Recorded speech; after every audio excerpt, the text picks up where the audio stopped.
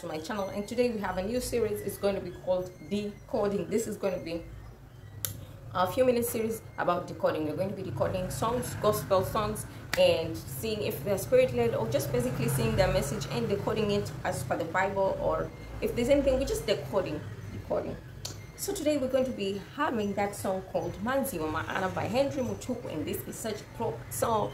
This song is 20 years old because it was made in 2002 if I'm not wrong. Yes, 2002 this girl sang that song and this song is 20 years old right now. So we start with verse 1.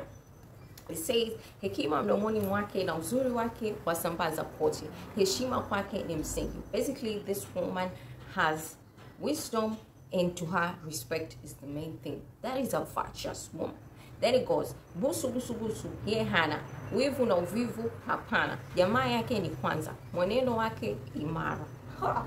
oh my god it means that she prioritizes her family and she has no space for jealousy or hate or laziness. So there's this scripture that says she prioritizes her family. It comes to she gets up before daylight to prepare food for her family and to tell her servant what to do.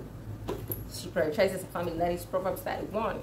Then we go to the chorus, which says, Manzi wa maana, manzi wa nguvu, manzi ambaye amungupai, mungu period. This is a woman that fears God, and that is who you call a woman of substance, is one that fears God. If you have no reverence for God, forget about it. Then we go to verse 2. It says, kazi zake ni za kuvutia, lote afanyalo afanyia Mungu. We have here. It says she's a hard worker, strong and industrious. She knows the value of everything. She makes work. She spins her own thread and weaves her own cloth. Bottom line.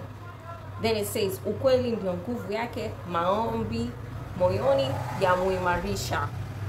Oh my god, this place is so noisy, but I don't have any place to film today. Maombi yamuimarisha. Like she only stands up for the truth and it's only prayer that makes her strong. That is just a virtuous woman. A normal virtuous woman operates in such kind of energy.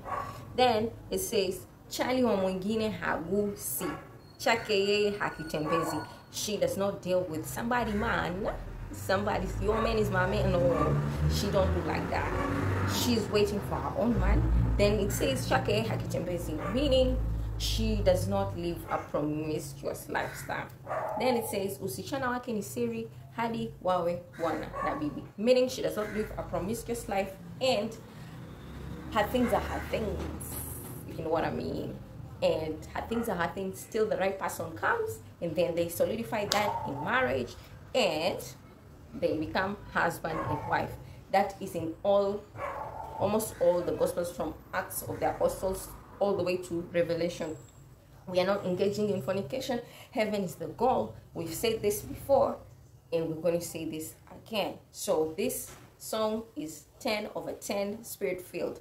I am going to leave the link uh, below on the description box so that you can find that song and listen to it by yourself. And if there's any lady who is listening, this song is.